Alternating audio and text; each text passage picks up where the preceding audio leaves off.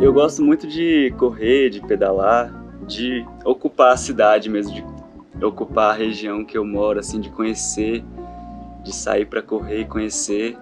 E Mar Revolto foi uma música que eu escrevi logo após um dia que eu saí para pedalar. Eu fui pedalando para um festival de música e a primeira parte ela descreve realmente o momento e a cena da cidade. Né? Parecia que o dia, através de nuvens, vento frio, vinha soprar para mim.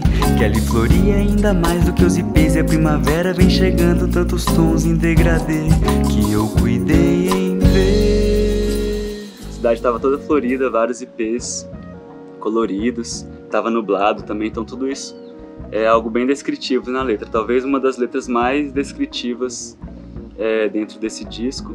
Essa tem a segunda parte, que é uma descrição mais interna também, de uma pessoa que eu conheci no festival. Carecia de sair de casa um pouco, ver a vida nua, lua cheia dando tom. Que ali havia um coração com frio e medo de deixar para trás o cais que ancorava seus segredos e se desprender. Então ela estava no término de relacionamento, não, não sabia se ia para frente, deixava para trás aquela história. E e eu, como tinha atravessado algo muito semelhante, eu meio que olhava a história de fora, né? Quando a gente olha de fora, a gente tem uma outra percepção. E é quando na letra eu falo que mas, mas se hoje não tá bom para navegar, pra navegar, sustenta que a ressaca vai passar. Ver no céu outras cores, minha boca sabores, um dia mais pra ser é essa confiança de que as coisas fluem nessa dos movimentos das marés e que a vida ela não fica estagnada em um lugar.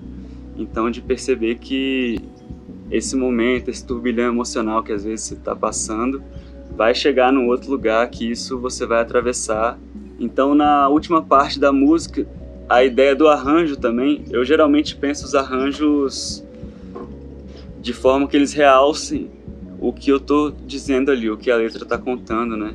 Então a música ela chega num lugar também completamente diferente do que tinha sido apresentado antes.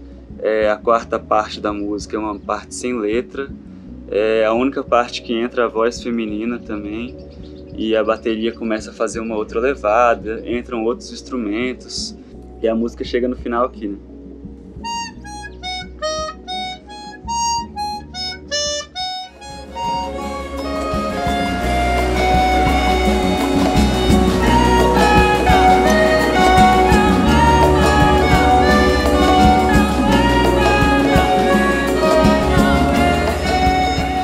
Quando entra a voz feminina,